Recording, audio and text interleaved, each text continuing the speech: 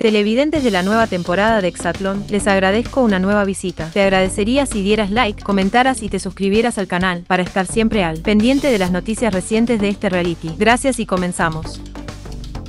Rosique la minimizó en Hexatlón México, pero ella le terminó callando la boca de esta manera. Para Antonio Rosique, el cariño hacia los atletas de Hexatlón México es sumamente diferente dependiendo la temporada y el equipo, por lo que en el caso de Maki González, los malos tratos de la máxima autoridad dejaron momento terrible en sus recuerdos del reality, por lo que está claro que actualmente la Amazona no regresaría para una nueva edición debido a los fuertes comentarios sobre su desempeño. Todos aseguran que los comentarios negativos y cero alentadores a Maki González se convirtieron en un tema muy fuerte para la atleta, quien nunca tuvo la oportunidad de celebrar su triunfo de la mejor manera, siendo un mal paso para ella ya que Hexatlón México cambió su vida para bien pero sobre todo para mal. La buena actitud de Antonio Rosique en Hexatlón México no fue para todos, por lo que aquellos atletas que no recibieron su mejor cara, actualmente no recuerdan su tiempo en República Dominicana como algo que quieran repetir como el resto de leyendas. Antonio Rosique no quería a Maki González. Muchos fanáticos de Hexatlón México aseguran que Antonio Rosique no quiere para nada a Maki González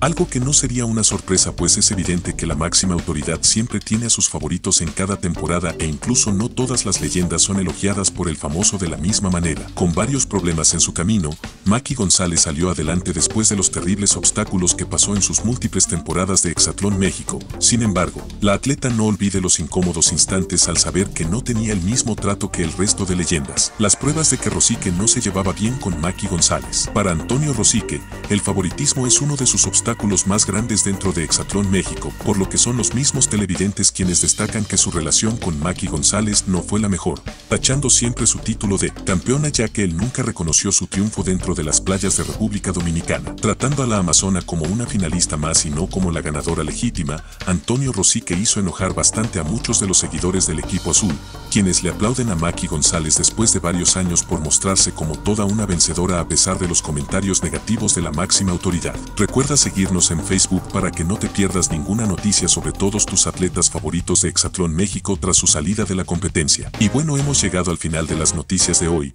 No olvides comentar qué te pareció, da like, suscríbete al canal y activa la campanita para así traerte siempre más y mejor información. Hasta la próxima.